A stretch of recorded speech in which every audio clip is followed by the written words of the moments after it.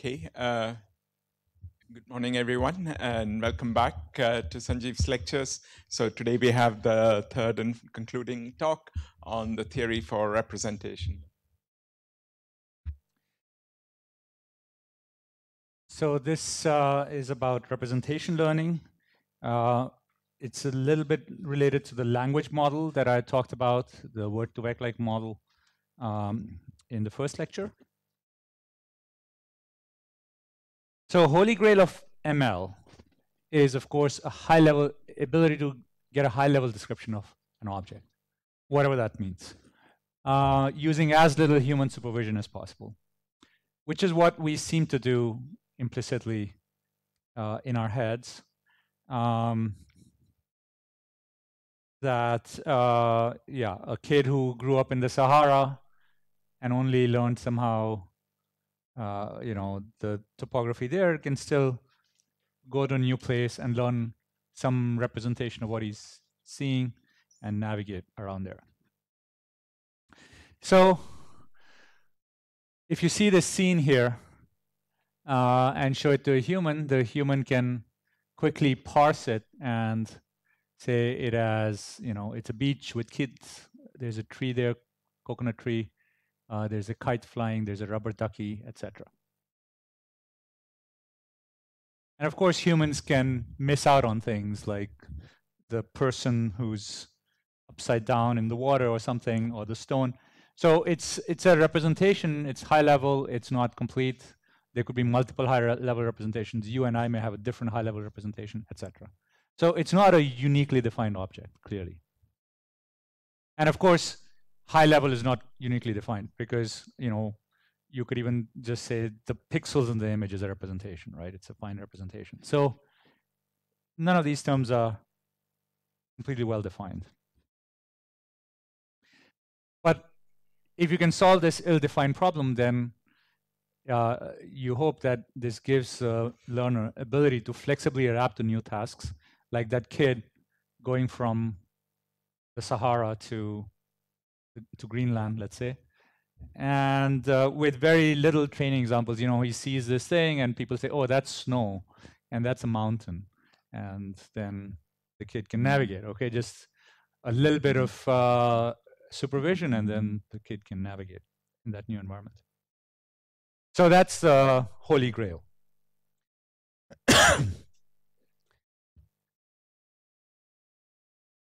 so talk overview today. So warm up. Uh, so I gave a similar talk, but starting from part two, but for a more technical audience. And as a warm up, I wanted to tell you about something else that I thought about a fair bit, word embeddings, uh, which is a very simple representation scheme, okay, uh, uh and unsupervised learning. And then part two is a survey of representation learning and its goals in vision and NLP from a theory perspective. So uh, that's part two, fairly non-technical. And part three is a slightly more technical part, our new paper which is a new analysis framework, which is minimalistic, as you would want theory to be, make minimal assumptions, and yet surprisingly powerful. In part four, I'll talk about some experiments that uh, our group did with, the, with these notions. So the first part, as I said, is about word embeddings. Uh, this paper uh, uh, with my team at the time, uh, grad student Yingyu Liang, uh, postdoc, Tengyu Ma, uh, uh, student at the time, Andrej Risteski, student at the time, and all of these are now elsewhere, uh, faculty or whatever.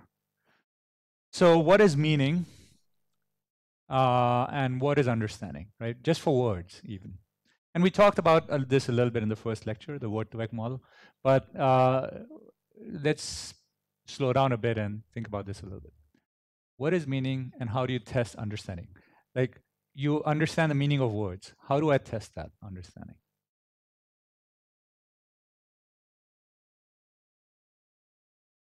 So some examples. So you may want to have the ability to solve analogies.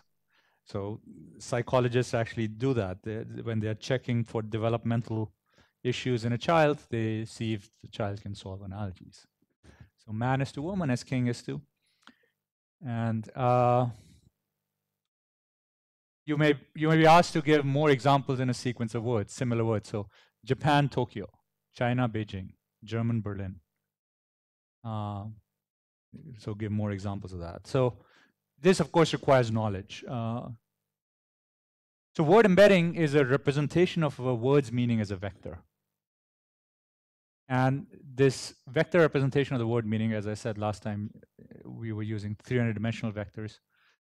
It's useful for these and many other tasks like machine translation, answering questions, etc.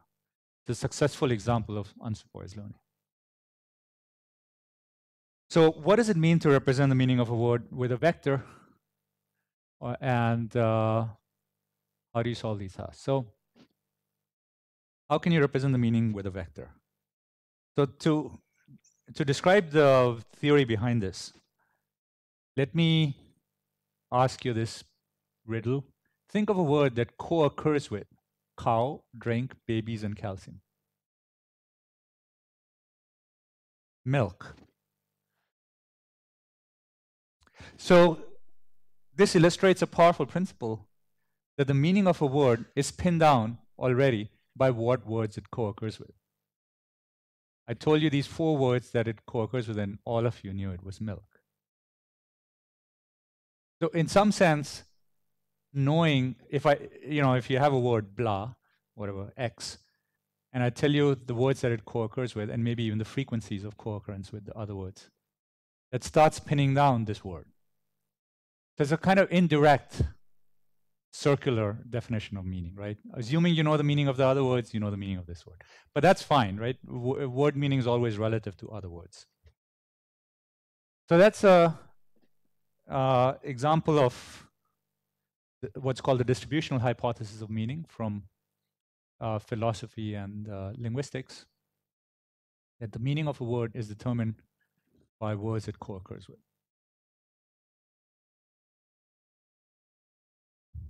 So now in line with what I already said, the following is a high dimensional word embedding for word W. So remember, English has, say, 100,000 words.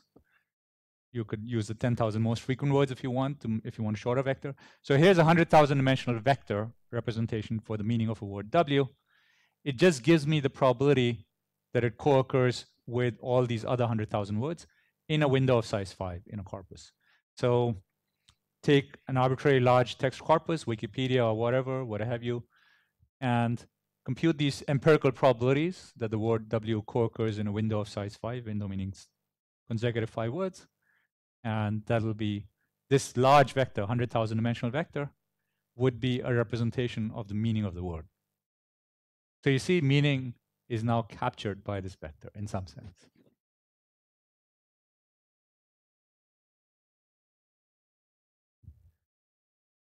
So there are better embeddings than this. This is very high dimensional. You can do dimension reduction on this.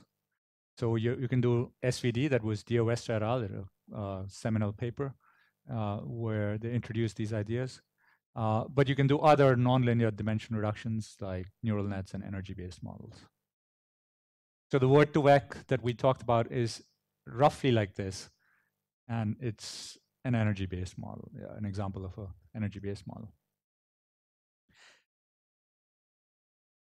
So questions about word embeddings. So this has been well studied for 20 years and especially a lot in the last five, six years. Yeah. Uh, I mean, can you give a flavor of how it goes from 100,000 to let's say 100 or whatever your word to SVD. Oh, SVD is singular value. So, uh, but that's that's a simple one. Okay. Oh, word to vec. You want an explanation of word to vec. We'll get back to it. Yeah, the nonlinear one. yeah, it's not clear from the functional form I described earlier, but yeah, it is actually like that. So one question, why do they exist? You know, why can a 300 dimensional, so low, low dimensional word embeddings, why can a 300 dimensional vector faithfully summarize the distribution of 100,000 context words, giving an efficient realization of Firth's idea?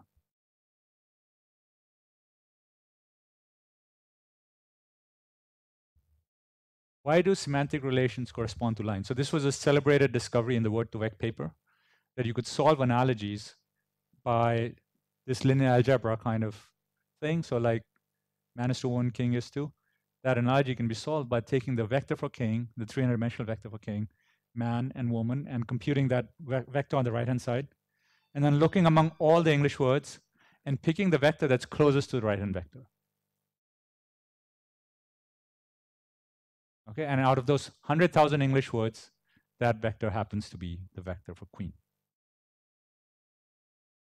So this caused a lot of excitement, and on some simple analogy tasks, it could do this method could do very well. So this was um, the beginning of my interest in this representation learning area because this is so striking.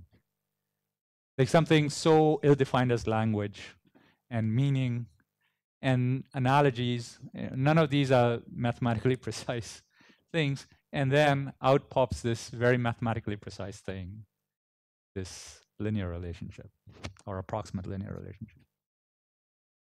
So it really caught my attention. I hope it catches your attention.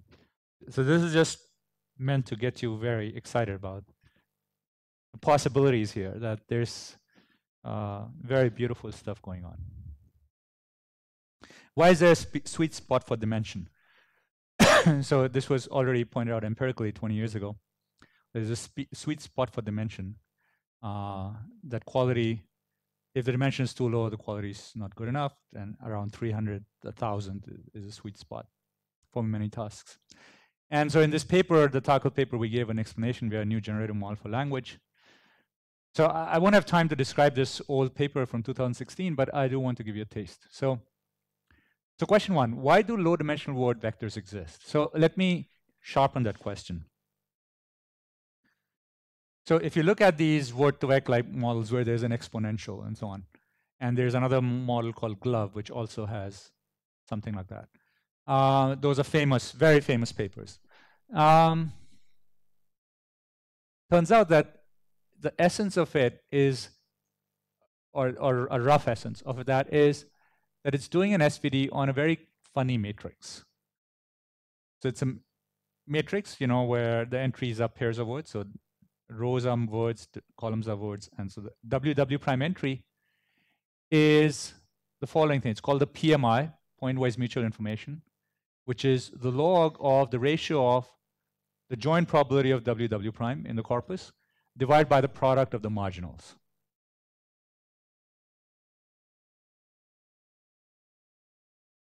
Okay, so the joint probability is the probability that these two words occur within a distance five in the corpus. That, and then the the denominator is the product of the marginals.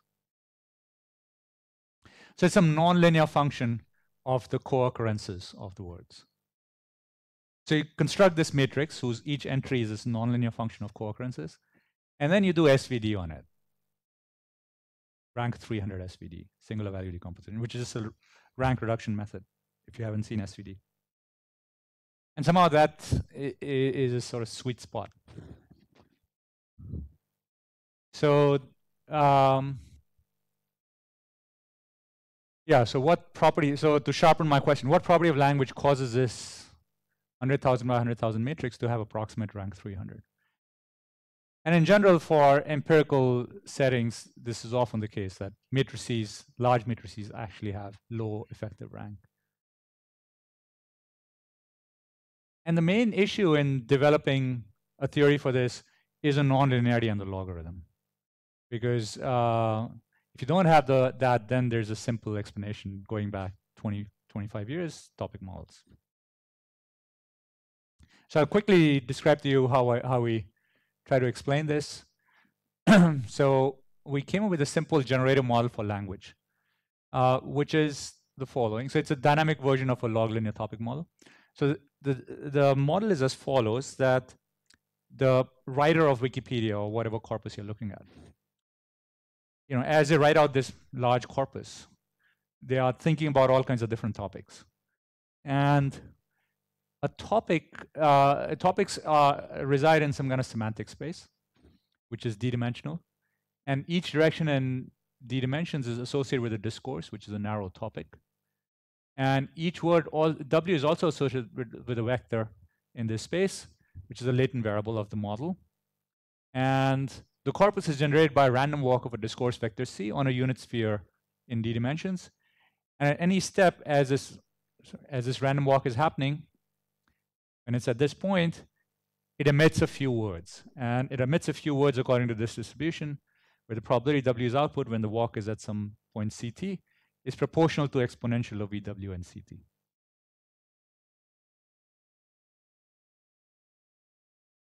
Okay, so this is just illustrating the random walk on the sphere. Oops, it went off a little bit. And as it does this random walk, it emits a few words. And it just keeps doing that, and that's your corpus. It's a very simplistic model of language emission. But even here, you can ask what distribution on bigrams does this? Bigrams is uh, pairs of words. Um, does this process generate? And uh, by the way, this is just an illustration. Uh, yeah, if you know what a random walk is, it's not telling you anything new. Uh, so Yingyu, my postdoc, uh, fitted a model, and then he he inferred the random walk that's being used for that text over there. Okay, so just illustrating that. All right. So you can uh, analyze this random walk because you know this topic vector is a random vector moving around in the sphere on the sphere, which is kind of like a Gaussian vector. That's the main idea. So you can think of the CT as a Gaussian vector. And then all of the integrals that you need become much easier. And what I'll tell you the result of all those int integrals. Uh, so the log of the joint probability, the probability that would WW prime occur next to each other, is related to the underlying vectors like that. And the marginal probability is proportional to the square of the norm of the vector. And there's the z, which is the partition function. It's a constant uh, in, the, in the theory.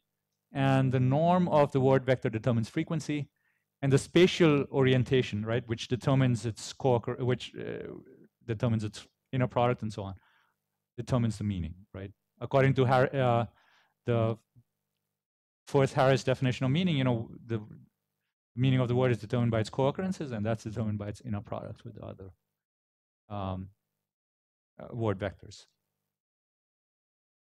So you can play with this theory a, a, lot more, which we did, which I won't talk about today, and you can explain why you know, there's a sweet spot in the dimensions, you know, which uh, uh, or wide source uh, analogies, etc. So that's a longer talk, and maybe it's on YouTube somewhere, which you can see from a year or two ago.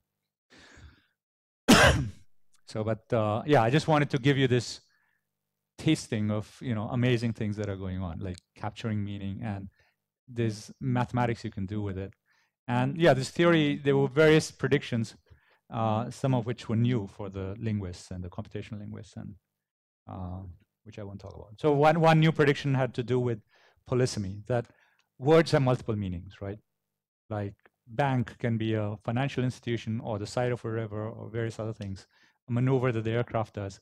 So the word bank has many meanings, and but there's only one vector. Uh, and uh, how does that vector encode all those meanings? So our theory predicted that the vector, the various meanings reside in linear superposition inside the word vector. It's a very striking thing, which is kind of related to why the analogies thing works. Yeah, so in this theory, yeah, a lot of the linear algebra is explained. That. Oh, by the way, so that's the PMI uh, calculation from the first two terms, which I forgot to do earlier, and that's indeed, you know, suggesting that the PMI matrix should have approximate low rank. So I have some articles on embeddings, uh, a couple years old, uh, and I welcome you to look at that, or there might be some talks on YouTube.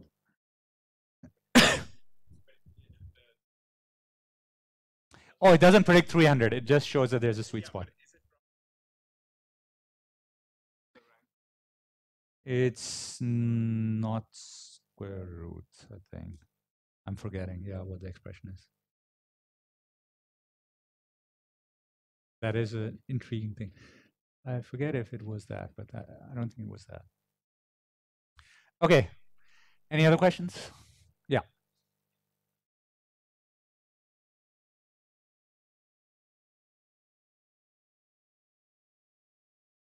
So co-occurrence matrix is low dimensional, but also this PMI matrix with logs and Correct. Has it something to do with the um, the graph that one will obtain if we look at the semantic relationship between words? Yeah, I don't think the graph there. view is the correct one. I know that's what you know in my previous life I would have liked to. Okay. Like you know everything is discrete and graphs and I don't think that's the right way to look at this. Yeah. I mean, you can define a graph post hoc, but I don't think. Yeah. So once we see the vector, we can define the graph. But assuming we had that um, uh, true value of semantic relationships of words, now it's very popular to use word to vec and then construct the uh, yeah, I G of v that's the comma right way. But then assuming we had g of v comma e, the clustering there probably is what gives It's us not 300 clustering. It's not clustering. No. No, so uh, this was what you're describing is exactly what people were doing in computational linguistics in the 90s. It was very popular. And I think that clustering approach is inherently not the right way to do this. And this is a much better way to do it. Yeah.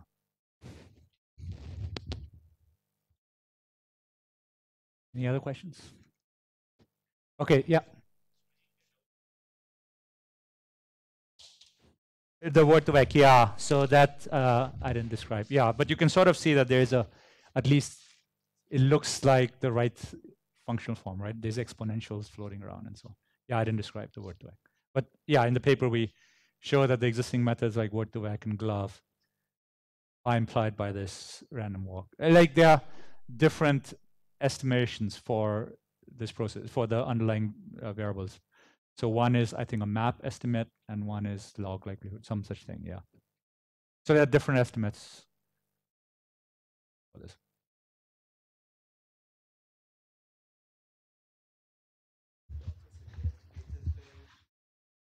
Uh, where what where you know using the distributional hypothesis and doing a low rank approximation would not work.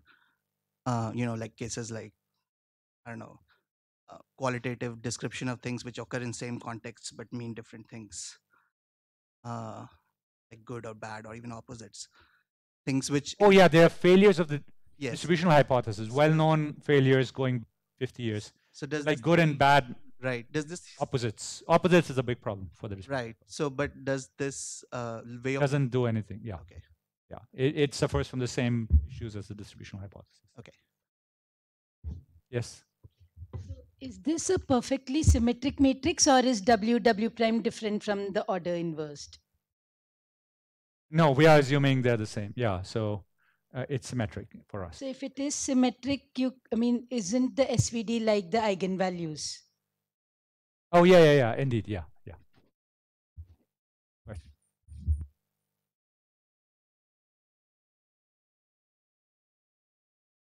Uh, just where the vector is in space, which determines its inner products with everybody else. Yeah, I don't. I didn't describe that. That's an assumption in the theory, which seems empirically to be correct. I didn't describe it at all. It lit literally, as it as the name suggests, it means that the word vectors over you know all 100,000 vectors are sort of uniform in space.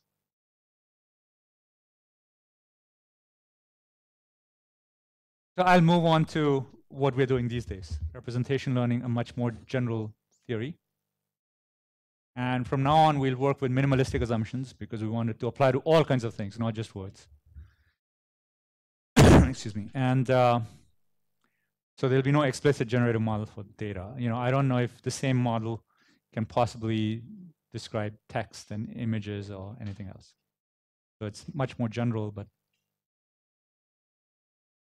turns out it's still very closely related. In the back, I mean, I won't talk about the connection, but turns out it is if you think about it more. Okay, so standard. So I want to go back to this issue of the that the standard framework for ML that I described in the first two talks, you know, training error, test error, and all that, you know, derived from classical statistics, clearly has some limitations uh, when it comes to capturing intelligence and learning that we want to capture. So we assumed that the training and test involve IID samples from the same distribution. We discussed this before. And that the generalization error that we compute is training loss minus test loss. So in particular, that the test loss is measured in the same way as the training loss.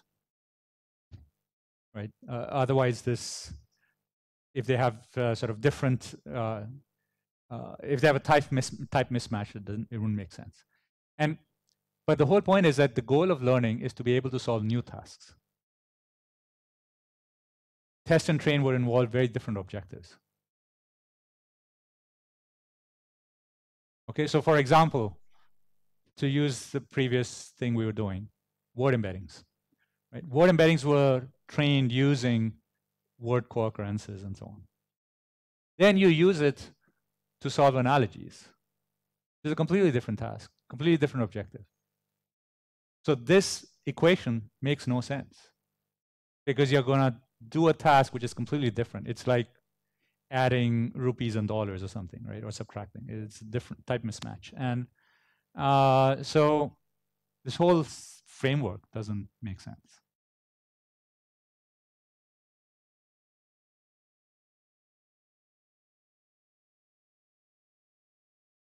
So I emphasize that practitioners have known this for many, many years.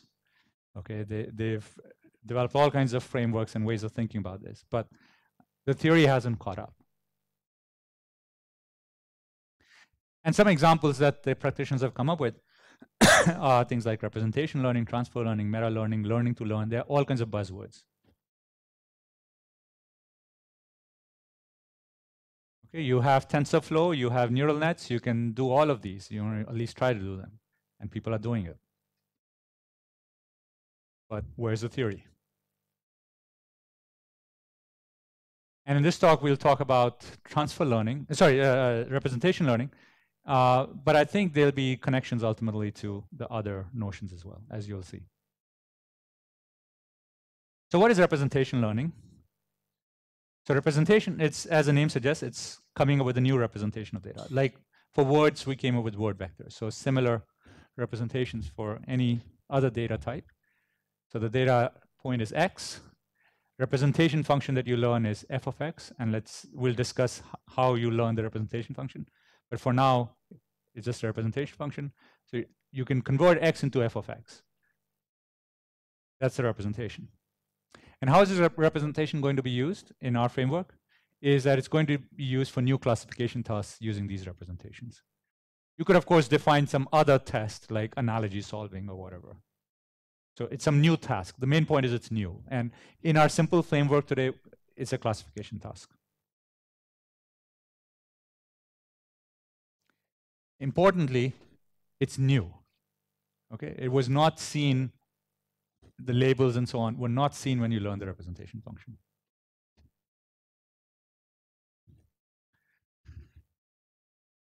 So what's a powerful representation? It takes it it, it uh, converts x into a much nicer high-level representation, right? Such that new classification tasks like complicated image recognition or something, some such task, can be solved via a linear classifier. Okay, that's our working definition. Okay, you can obviously extend this theory or try to extend it to, you know, where the linear is something else, etc. I mean, the theory does apply to logistic, linear, etc. So example in traditional machine learning theory is the kernel SVM. you don't know it, don't worry about it. Um, basically, the idea is that you lift X to uh, some other representation and uh, and then that in that representation, linear classification is possible.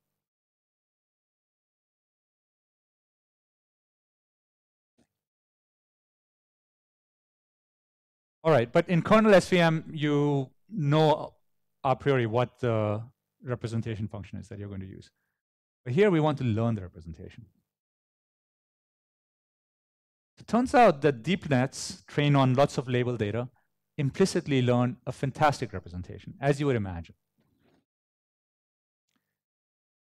So here is a picture of a 19-layer deep net, VGG19. Doesn't matter what all it does along the way. But then on the last layer, it basically has a linear classifier, a logistic classifier, actually. So, and it does, uh, you know, thousand-way classification with thousand examples each. So a million examples total. So now look at that last layer. It's mapping the input to some vector, in this case of size 4,000 dimensions.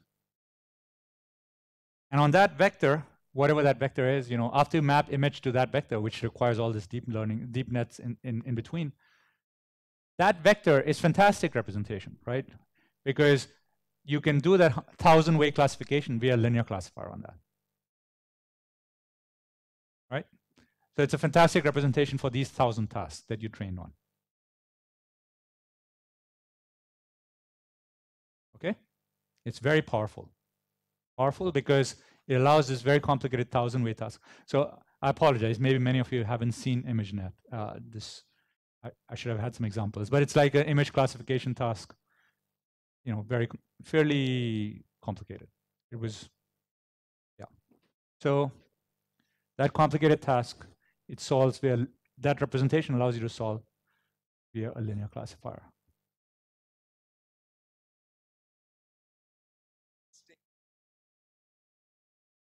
How distinct tasks are. Oh, this is a classic data set, ImageNet. Okay. So, so, so far, I'm just describing to you the supervised deep learning that I described earlier, right? You did a supervised deep learning on ImageNet, which is like a classic data set. And my, the, what I'm pointing out here is that if you look at the last layer, yeah. that is a representation, right. which allows you to solve this very complicated task eh, with a linear classifier. This very complicated task of a thousand way, it's like a famous task. I see right? This this and this entire I'm rephrasing what deep learning is doing. Okay. It's a 19 layer net, and the first 18 layers are computing a representation of the input, which is high level. And on the, the last layer is a linear classifier on that representation. I'm just rephrasing. It's sort of trivial rephrasing. Does it have any any non-triviality? And it is uh, so it is actually something very interesting. So, so firstly, the vector on this layer is a good representation in unrelated tasks. so if you now have just not just a thousand, but you add some other new tasks, which the method has never trained on, this representation is still a pretty darn good representation for that task. And you can solve it with a linear classifier. Okay, so even new for even new tasks, this representation is pretty good because it's very flexible. It already trained on a thousand image recognition tasks. It has a pretty good idea of the content of images. Um, the second point I want to make is that the performance of this deep learning is going to be abysmal if you had only two classes. Right? But in theory, of course, two-way classification is no harder than thousand-way classification, right? If so, you would imagine that if you just had a two-way classification, you would do much better. But actually, it helps it to have the other 998 classes to learn the proper representation. If you just had two classes with a thousand examples each, the performance would be abysmal. Okay, so that's proof that somehow it's learning to abstract what's the content of an image. That having the other 998 classes helps it to learn a better representation.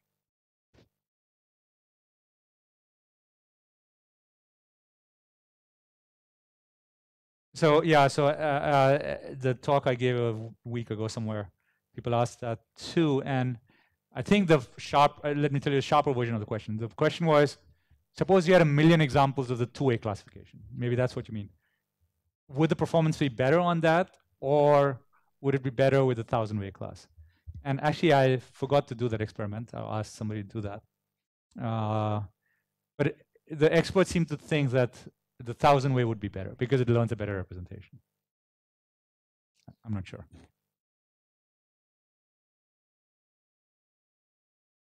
So let's call such representations gold standard. They are learned with a lot of label data. Can we learn such gold representations with no unlabeled data? Sorry, with no label data.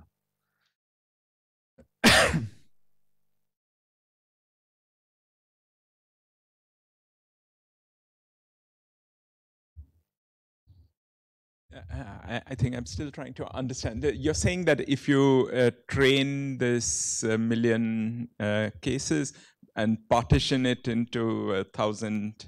No, you're given the thousand classes ahead of time.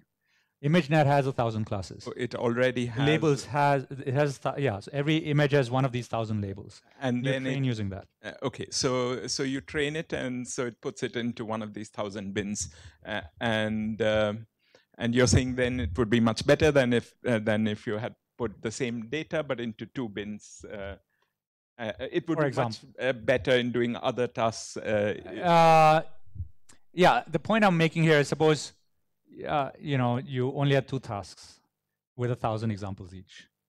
The performance on that would be abysmal.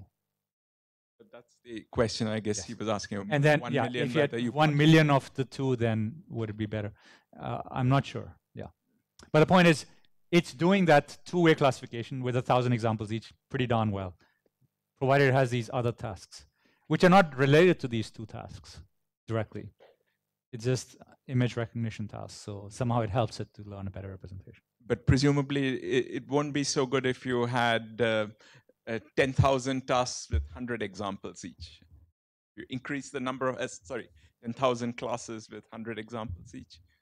You try to it make would- it it too, uh, It would still be do. It'll do pretty well. Most people. it'll do better than, I mean, is there an optimal thing as you, that you're saying? No, there's no optimality. Yeah, it was just a standard test bed. That's all I'm saying. Thousand and hundred thousand or whatever is not important.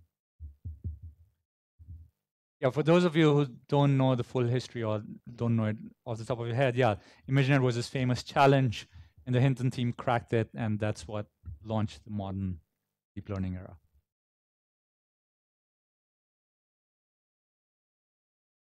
So, so okay, this is a question from now on. Okay, can we learn such gold standard representations with no label data? And maybe for image recognition at this point, it's not so relevant because image recognition is a solved task because we had all this label data.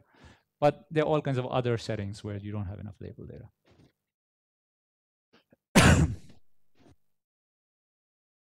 So the question you have to now think about is, how can we possibly learn a useful representation from unlabeled data? Unlabeled data is plentiful. And without knowing downstream classification tasks. Excuse me. Uh, so Yes. it would be like uh, we have learned languages, uh, a number of languages, and we are trying to use a same model for let's say unknown language, new unknown language. Uh, and uh, what you are suggesting that it not should be able unknown language. So yeah, the analogy is more like, let's say you train even in language, you know, there are many classification tasks, you know, like are these pair of words synonyms? Uh, is this paragraph a joke or not? Does it contain a joke or not? Is it humorous? Is it what? So those kinds of classification tasks. So, so you want a representation for language to learn however you like from unlabeled data, so that you get these new tasks. Does this thing have a joke or is this paragraph about history? Some classification tasks like that, and you can solve it. It's not complicated with translation and so on. I mean, maybe all of those will ultimately be relevant here, you know, transfer learning and so on, but we're not doing that here.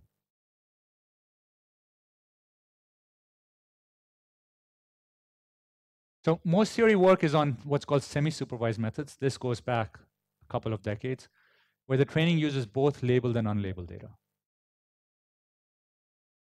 But more, uh, more importantly, it's using labeled data from the downstream classification task. So it's more like you have a lot of unlabeled data, and then in the 100 classification tasks you are interested in, you have a small amount of labeled data. So using the unlabeled data, you need less labeled data. That's the setting. But you know the task ahead of time.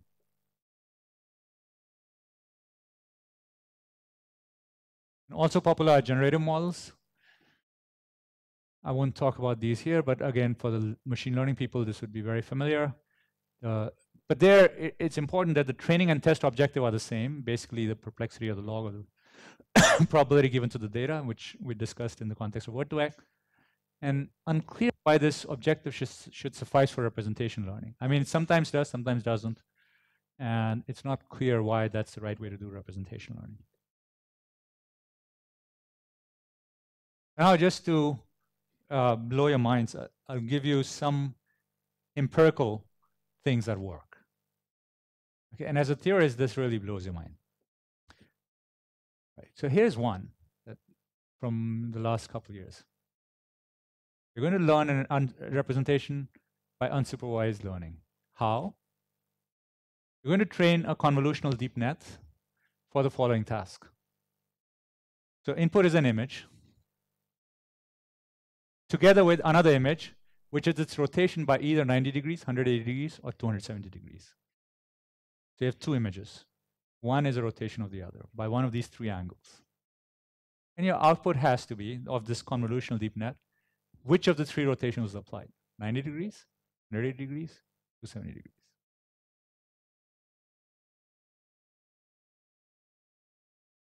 So the convolutional deep net, when it tries to solve this task, learns very good representations, comparable to the gold standard ones. Not quite, but like pretty darn good. What do you think is going on?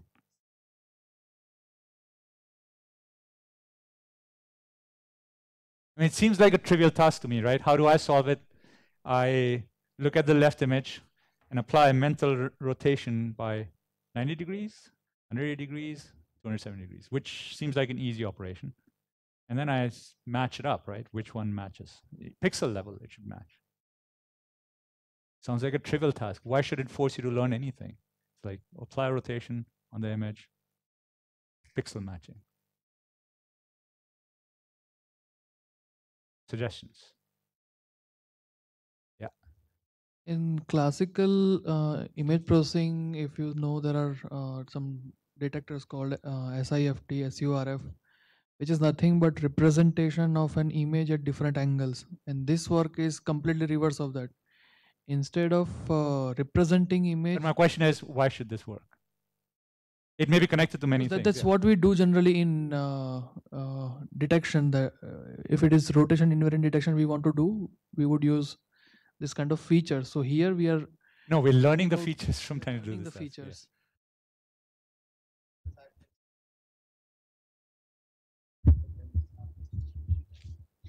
No, batch is something very different. Patch. Correct. Yes. So the main point here is that, yes, the algorithm I have in mind that I'm going to apply mentally a rotation and then do pixel matching cannot be done by a convolutional net. Convolutional net works with patches and it cannot apply the rotation transformation. So it cannot, as far as we know, apply the trivial algorithm. It has to do something different. It's forced to learn good representations. Really blows my mind. Yes.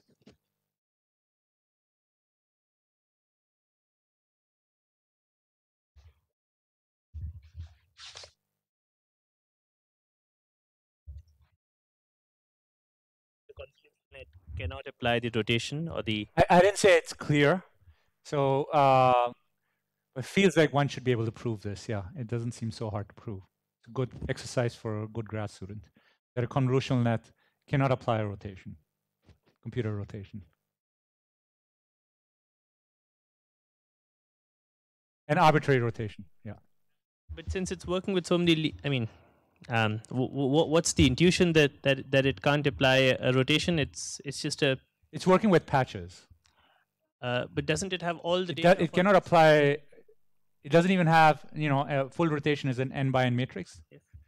Uh, it may not even have that many parameters. I mean, n is like 10,000, the number of pixels in ImageNet images, 100 pixels on each side. So 1,000, uh, 10,000 pixels.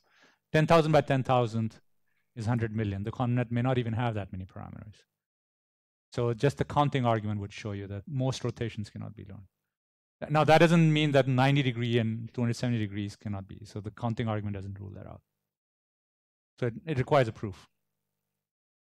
If some student here wants to take it on, let me know if it works. Okay, so, all right.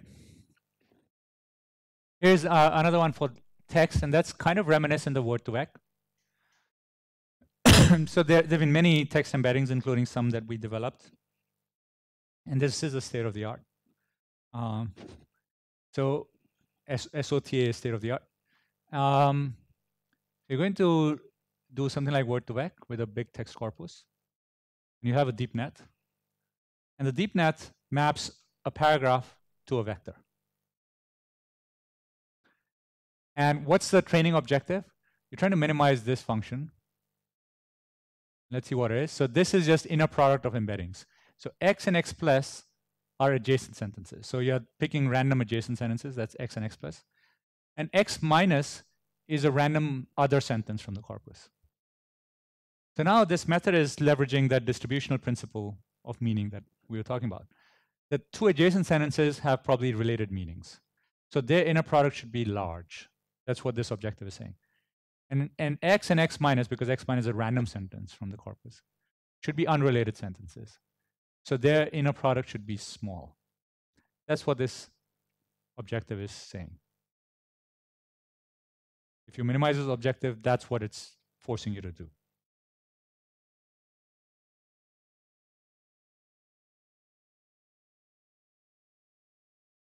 Okay, and F is computed by a deep net, and you can use your favorite deep net architecture.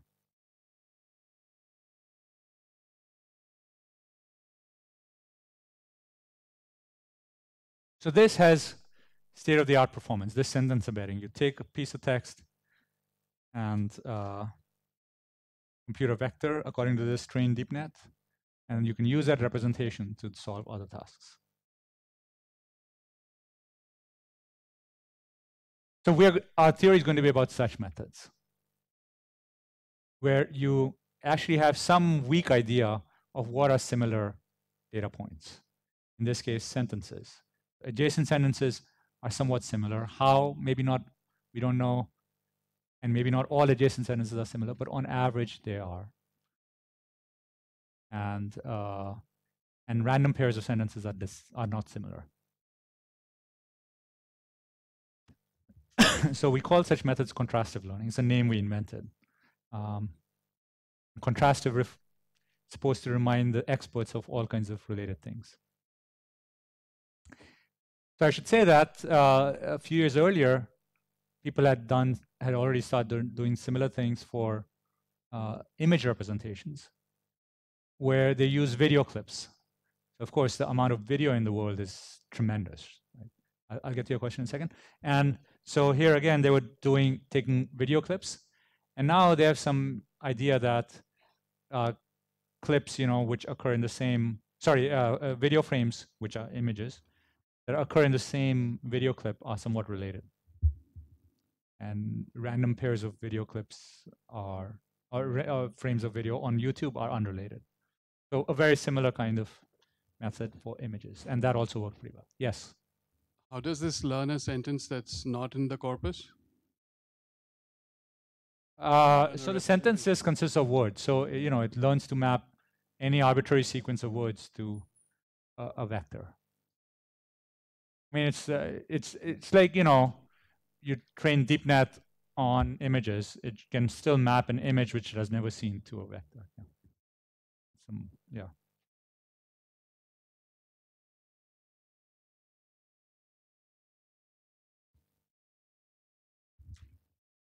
Is clear? This is a key slide. Like this is contrastive learning that we're going to analyze.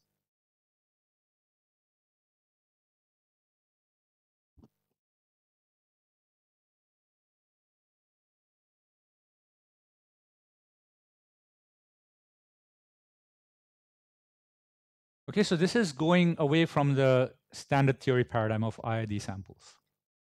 That it's saying that you know you, it's you're given these pairs of examples where you have some idea that some are similar and the others are not similar, semantically similar. So by the way, uh, just to illustrate the embeddings that you learn from these methods, uh, uh, any of these methods, text embedding methods, capture human notions of sentence similarity. So if I give you these five sentences, these are from a talk I gave at Carnegie Mellon, so that's why it has Carnegie in Pittsburgh. But um, which are the two most similar sentences in this list of five? One and four. How did you know they're similar? There's no common words, not a single common word. Right? You sort of know that you know the meaning of the sentence. You know that forest and jungle are the same thing. Lion and tigers are very similar etc. Right? And hunting, like you have some idea that lions are. aggressive hunters, so they rule the jungle. Anyway, so, so somehow there's something more going on, right, in understanding similarity of text than just matching words. So indeed, yeah, if you this is from some other method that we had, the SIF embeddings, but anyway, if you compute similarity scores the inner product of embeddings, indeed you find that one and four have the highest inner product. So notice that, and we've already seen this with word embedding, so this point was already made that the, the training objective was very different, right? It was this log and similarity and so on. And then somehow it corresponds to what's going on in your head, which the training has no access to. So the test objective, you know, how well does it match human notions of similarity, has never been used in the training. It's some it's in our head, and but somehow it it uh, does well on that test objective. All right, so this new paper with uh, Rishi, yeah. Uh, uh, I mean, the uh, the last point you made about uh, uh, that it's something in our head, but you did train it on a corpus which reflects something in our Right. head. Yes. If you had trained it on the annals of mathematics, probably wouldn't have. Uh, Maybe for a subset of people here, it might be similar sentences. uh, yeah, but uh, it wouldn't have helped in uh, in Correct. uh, in these five. So, Correct. So that's what the theory is going to grapple with, right? Yeah. That's uh, that it's not.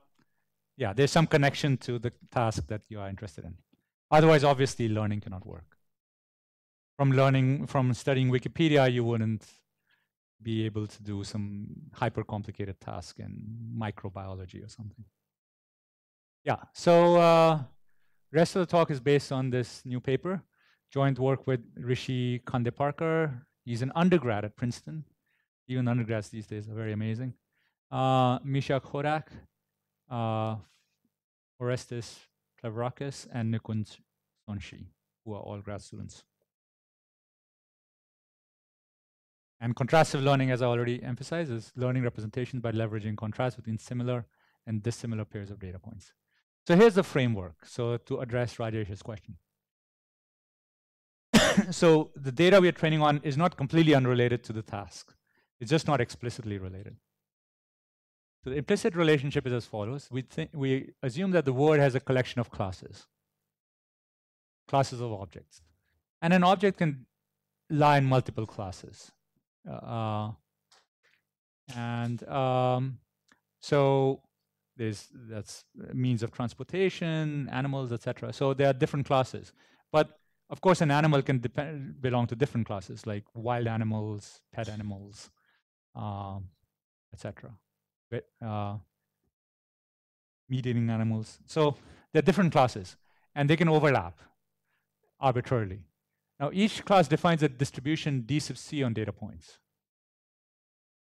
So d sub c is the probability of data point x is in c. What does this probability mean? If you ask people, you know, what's the chance that this object is in C, ask them to give a number between 0 and 1, and that's the number they would give. So for example, the uh, yeah, the beach scene photograph could be about lots of things, you know, and it could belong in different classes with different fractional probability. Um, so when training is given similar pairs of data points, contrastive learning is given similar pairs, we assume that nature is picking some C, some class C, according to this measure rho, and then two independent samples, x and x prime, according to DC. In negative samples, you pick uh, you pick C according to from some class, and then pick a random sample. So hmm, should be C and C prime, just two random classes. Typo. So there's uh, you pick two random classes C and C prime, and then pick X and X prime from it. So that's the the framework for what contrastive data you're given. And now what downstream classification tasks of interest? For now, we restrict to two-way classification, but the theory extends to multi-way classification. And you pick a random pair of distinct classes. Uh, so assuming you know nature, which will give us this classification task later on after we learn the representation, learn picks a random pair of distinct classes. You may never have seen these classes during training. And you and then nature picks k IID samples from the distribution of the first class and k from k2 from the second one. And then the representations are tested on this binary classification task.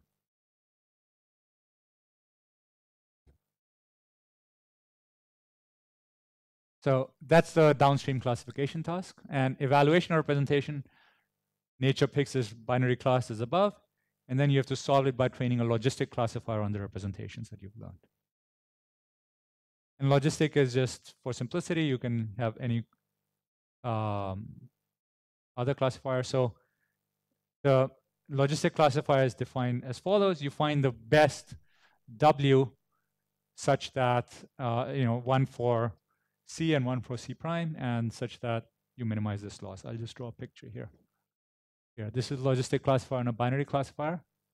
You find for the two classes a vector W1 and W2, one for each class.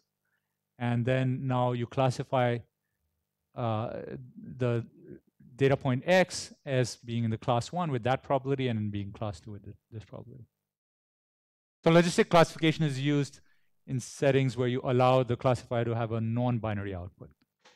Okay, and that makes training a lot easier, okay, differentiable and so on. Any questions about logistic?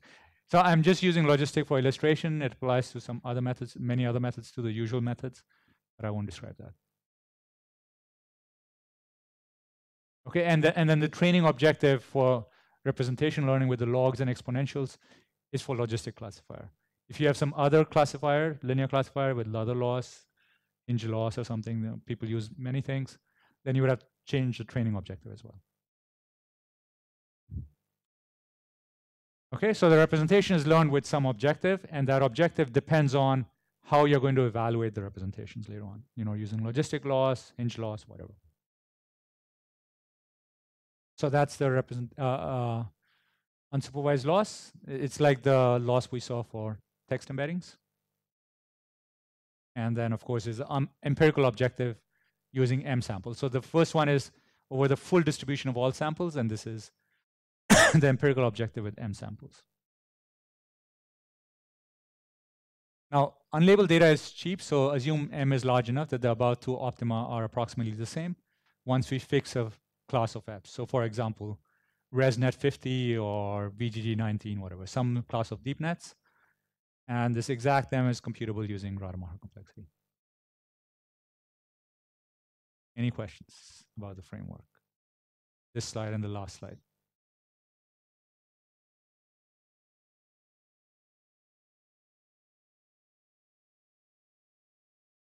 Okay, so we, we're analyzing in a nutshell the kinds of learning algorithms people are using and to analyze that, we are providing a framework for thinking about what are similar and dissimilar pairs of examples, and, uh, and then relating it to performance on classification. So the main question is how well does this best F out of this unsupervised learning do in classification tasks? And the dream result for analysis would be that it compares with the gold standard. So the gold standard would be the best representation function in the same class of circuits. And an easy observation, you know, once you set up a theoretical framework like this, it's impossible for arbitrary functions, arbitrary trials. This is easy. I mean, in general, uh, these hardness results are easy. So instead, what we show, I guess I'm out of time, huh? Um, what we can show something is that if the unsupervised loss is small, so if you can fit this representation so that the unsupervised loss is small, right? The adjacent sentences are very similar. Random pairs of sentences are far apart. If that loss is small, then the average loss on classification task is low. So that's the kind of result you can show. And I won't go into the proof, but the key step is the Jensen inequality. That, you know, if you take the representations and then within each class take the average vector of the uh, average of the representation vectors, that can be used as a logistic, as the W1, W2 in a logistic classifier, and that already can be bounded via Jensen's inequality using the unsupervised loss. So that's the idea. So this is primarily for the few experts in the audience who've done these kinds of manipulations often and can sort of see how this works. So supervised loss is related to the unsupervised loss. So that's a very simple case. The more general case so is when this unsupervised loss is not low. So often in many practices, in many practical situations, unsupervised loss is low, but when it's not low, something else happens in practice, and the theory accounts for that. So what that what happens is that the representations are fairly concentrated, very clusterable. Oops. Okay. So uh, so in that case, there's some extension to the bound, and um, I won't have time to do this, but yeah. Basically, it uh, corresponds to the clusterability of the representations within classes. So yeah, you get some version of the dream result that you can compute, compete with gold standard representations, so long as the gold standard representations are concentrated within the class. Okay, and there are many extensions to the space thing I talked about, to all loss functions, all k classifications, uh, and a new unsupervised objective that was not known that came out of our theory based upon blocks of R similar data points. So like not just adjacent sentences, but like take all sentences in a paragraph. They're all probably similar to each other. And then you can write a tighter uh, analysis, a tighter cost function, which does better, as we'll see. So some quick experiments, and then I'll stop. So this was an experiment uh, we did. Uh, so we didn't really have what text, a very nice data set, so we created one. So this data set has 329 classes, which correspond to articles on Wikipedia. And then the data points within a class are 200 sentences. So these articles have 200 sentences each, at least. And so 200 sentences randomly picked out of the article. And now uh, we have presented unsupervised data in the form of you know random pairs of sentences from the same article and random pair from the corpus, from the full collection and we train our sentence representations. And now we want to compare, compare with the gold standard. So the gold standard would be trained, a deep net trained on this 329 way classification task, fully supervised, all the labels. And we find that basically our unsupervised method tracks the supervised method. So this is more an illustration of the theory, where the data is actually following the theory. And then it actually completely tracks um, basically. I won't go into the meaning of all these, but uh, I want to emphasize that this, the mu5, is where you're only given five labeled examples per class. And even there, our unsupervised method does very well. So in the if you want to do a classification task later, you can work with just five labeled examples per class because you've learned a good representation. Similar experiments for CIFAR, although the supervised, this is a more standard data set in vision. Uh, the supervised unsupervised gap is somewhat larger. So for instance, here versus here.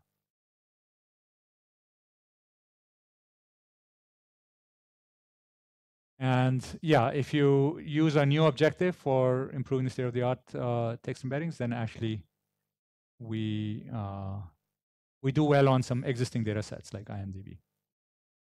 Okay, so I'll, uh, um, I'll wrap up here. So I've shown you this first cut theory for formalization of representation learning with minimalistic assumptions. And with minimalistic assumptions, you hope that it would uh, apply to more things. Future work, extensions to more intricate settings, such as right now we're assuming classes are completely arbitrary, but maybe they have some lattice structure or tree structure, uh, classes subclasses, etc. So extensions to that more empirical and theoretical developments uh, like transfer learning, meta learning, etc. Okay, thank you. Yeah, stop there.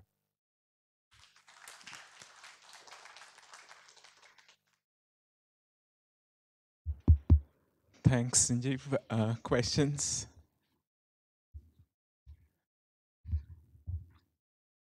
Uh, so uh, in this setting, uh, where you train with the unsupervised objective and then uh, tested on downstream tasks.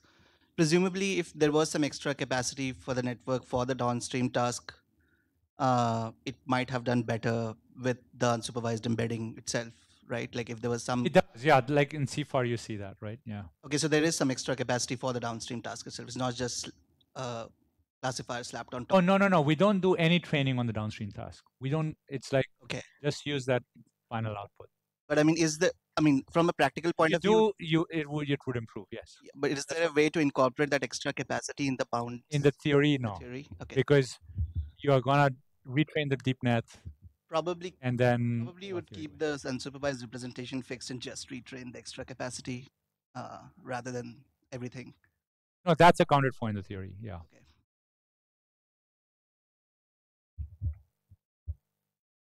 Yes. So uh, positive pair is pair from the same class. Yes. Yeah, so you're just given these two are from the same class. This is just check of the theory. Yeah. In practice, if you want to apply it in the wild, you would need to have some weak indication like the rotation one, this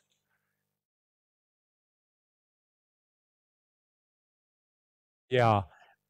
I think the rotation one, this theory wouldn't explain because the rotation one, I think, really uses the fact that a con net, convolutional net, cannot compute a rotation, which this theory doesn't allow. I mean, doesn't look at. I mean, for it, you know, the deep net is a black box; it can do anything, and so you wouldn't capture that here. No. Yes. Can these results be used to improve supervised learning? For example, by combining labeled data with unlabeled data, or even by using um, these two sets of loss functions on labeled Yeah. data. Yeah, yeah. So uh, if you look at our examples where you're given five labeled examples, yeah, you could try that. Yeah. And you should do at least as well as our unsupervised method. So semi that's semi-supervised. Yeah, it should do better. Yeah, actually, we don't have the numbers, but Uh, hello. Uh, I might have missed, but uh, the result that if unsupervised loss is low implies that uh, you know the loss on the classification will also go low. What are the assumptions? Are there any assumptions? no assumptions. No yeah. assumptions. Yeah, just what I wrote there. So I haven't missed. Yeah. Okay. So it's just a nice calculation using Jensen's inequality. It's it's a very baby result in the paper. There are other. In in the that paper. Uh, It's in this paper. Yeah, it's on. Uh, it's not on arXiv yet. Uh, hopefully, very soon. Yeah, the students wanted to put in more and more things. So hopefully, within a couple days, it'll be on arXiv. so this result is there in your paper. I just want the Yeah, yeah, yeah, it's there. yeah, yeah. The, the entire last 40 minutes was is, in, is from that paper. It's Yeah. from that. The new paper, which is not on arXiv yet, but soon will. be. Okay, okay.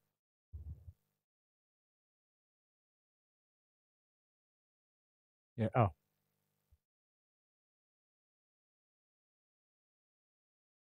Not in the in the last 40 minutes. No, it's DeepNet. Yeah, we don't know what it's doing.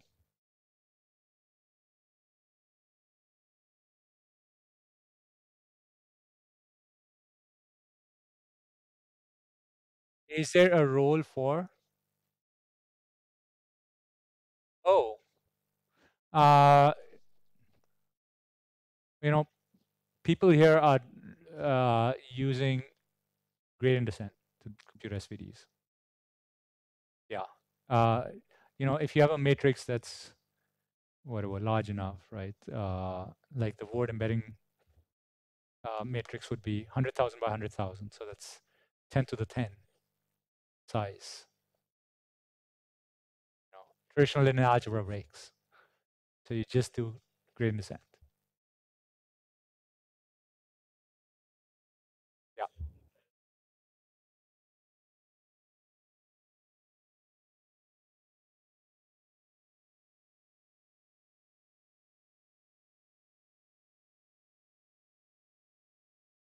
Yes.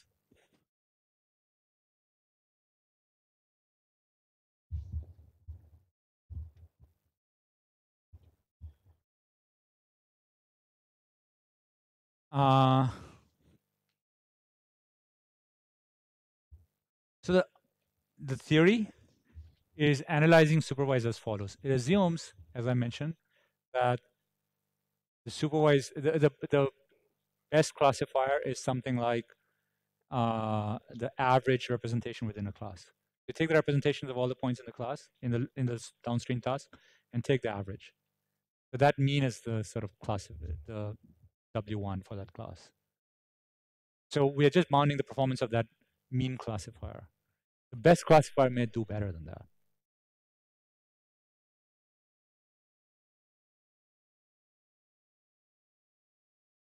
Uh, questions? Yeah. Uh, mm.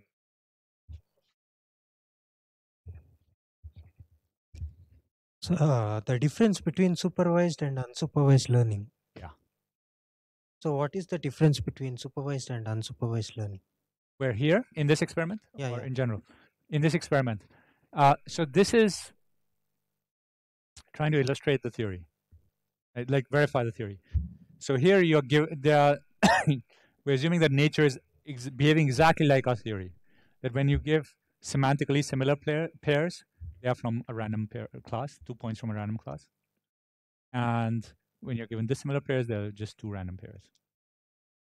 And hmm. then you're training an unsupervised objective, you know, which I mentioned earlier.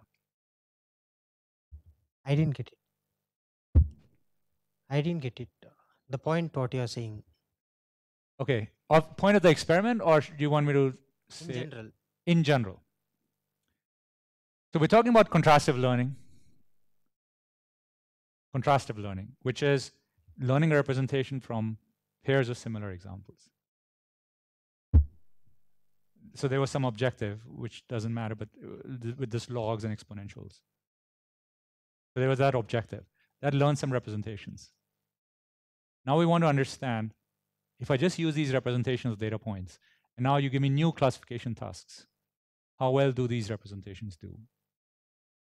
If I want to solve a new task using linear classifiers. That's what we are studying. And, and this experiment is verifying a theory for that.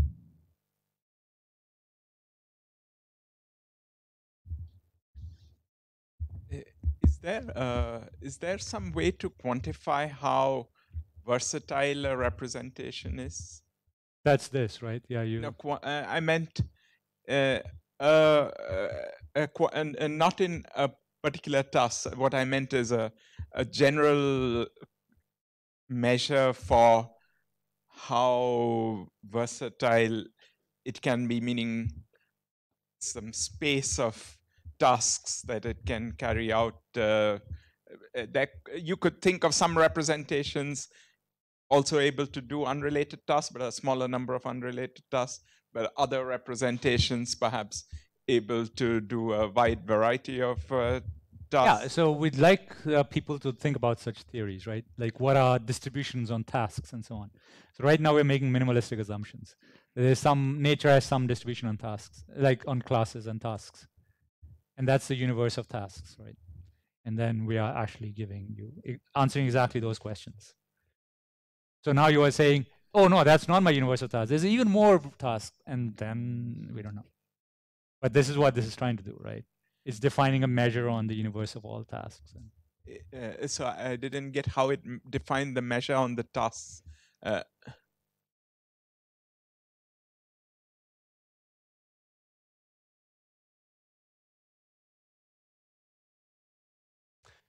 So this was the definition of semantically similar pairs, that there's some, nature has some classes and distribution of points in the classes, etc. And these are arbitrary classes. Could be a continuum. There's just a measure on them. but, uh, but then what you had And now we say nature is going to pick classification tasks, two-way classification tasks. The theory extends to k-way. And how does it pick a two-way classification task? It picks them according to that measure, product measure, and then gives you IID samples. But then uh, what you had later uh, when you were showing those uh, overlap, uh, that uh, you had this log function, which Uh, This is just for the analysis. This is this is the framework to answer your question. yeah. But What we do with it is the, else, but this is the framework. This is exactly what you're asking for.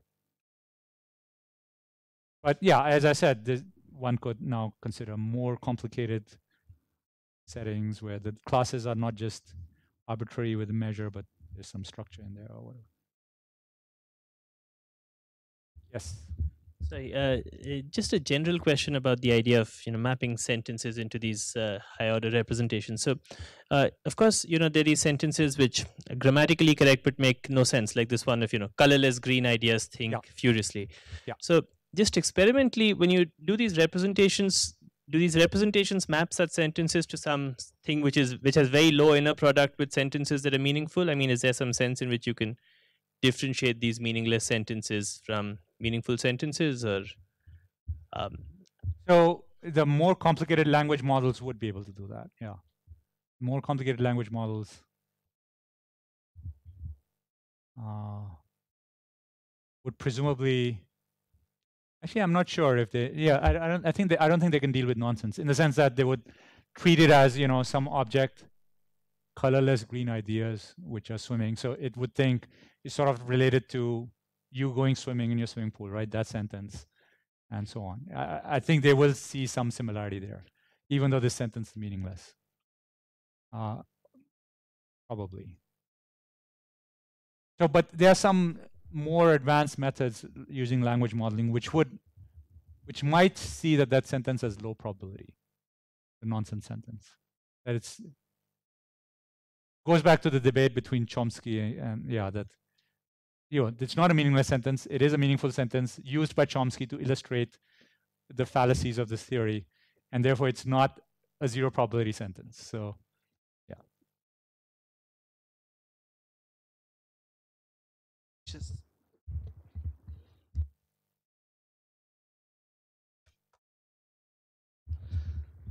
um, just um, I mean, just to uh, make sure I understand this. So, in uh, you also had this in the in the unsupervised setting. You had this notion of things which are similar and which are not, right? So, would you say it's weakly supervised setting in some sense? You can think of it as weakly supervised, yes. We call it contrastive learning. Right? That's the name. Okay. Uh, if there are no other questions, I would firstly like to thank Sanjeev for a very hectic agreeing to a very hectic schedule of intense uh, th- uh, three lectures over two days, uh, and uh, secondly for giving this sort of a very nice overview of the uh, uh, of the theory behind machine learning. So thanks very much. uh. Thank you.